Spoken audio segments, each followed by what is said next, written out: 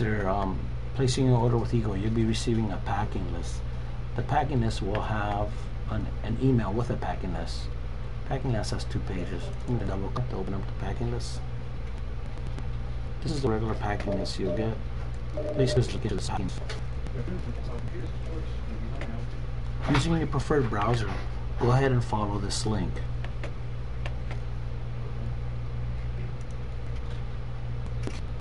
I have it here open up on my right hand side. It's going to ask you for the serial number.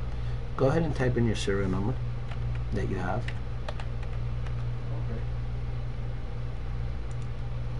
Now type in the download code.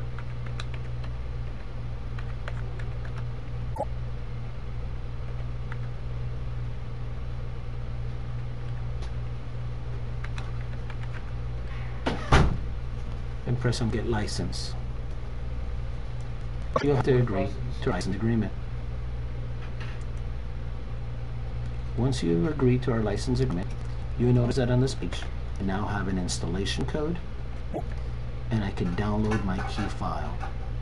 Go ahead and record your installation code um, by either printing this document or just by writing it down.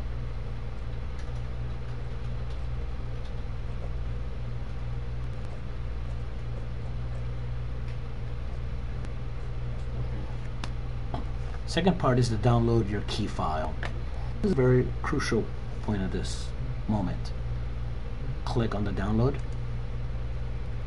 It's going to ask you where to place the file. It's very important that you know exactly where the file has been placed.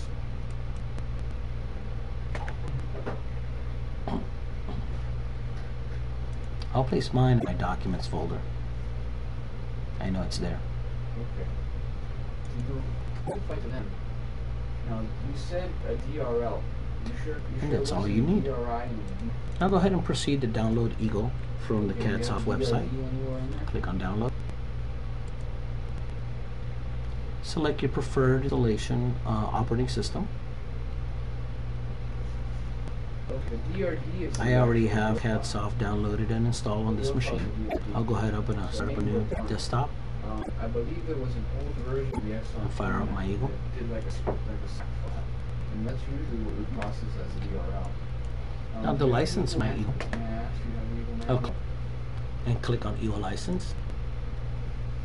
I'll tell it to use the license file that I just downloaded.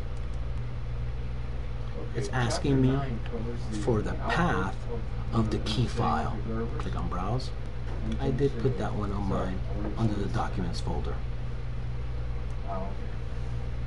Entonces, eh, lo que me parece es porque normalmente el Excellon, el Excellon file, es solamente el DRD y el DRI. Here's my key es un text file under my documents folder. Now it's asking me for my installation code. That's the one I recorded while I was in the license server page.